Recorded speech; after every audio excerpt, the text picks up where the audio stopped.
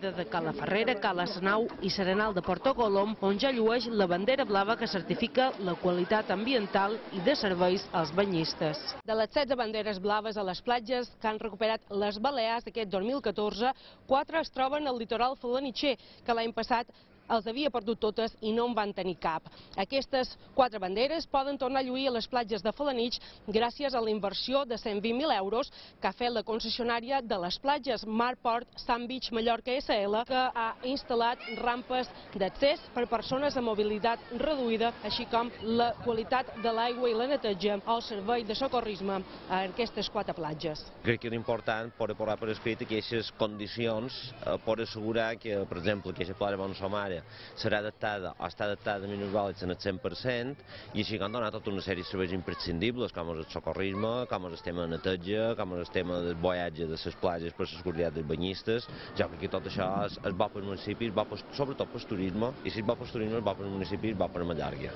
Els hotelers de Porto Colom i Cala Ferrer estan convençuts que les banderes blaves són un símbol internacional de gran interès pel turisme. molt positiu i molt interessant de cara als turistes en les instal·lacions